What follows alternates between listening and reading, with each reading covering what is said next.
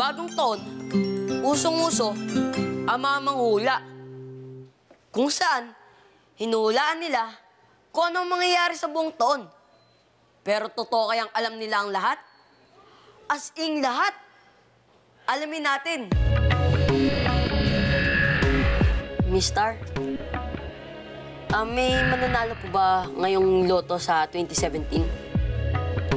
Ayon sa aking nararamdaman, alam ko hindi ikaw eh. O, tamo, sabi sa akin hindi ikaw eh. O, Hindi po ako. Bakit po?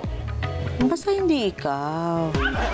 Oo, kung malalaman natin yun, di, hindi na secret yun. Alam niyo po ba kung kailan masusolusyonan ng traffic? Alam mo kung ano sabi? Ano po? Kapag daw mawala na lahat ng sasakyan daw sa Metro Manila, ayun, wala ng traffic. O yung sagot niya, ang galing, no? Eh, kailan po mawawala yung sakyan? Gusto, mo, wala ka ng sakyan? Ay, hindi po. O, yan naman pala eh. Oh. Mahirap po maglakad. Ayoko rin maglakad. O, di sabi niya, o, pag naglakad daw tayo, tayo may hirapan. O. Tapos, ah, Miss kilala niyo po ba kung sino po yung mananalo sa Miss Universe?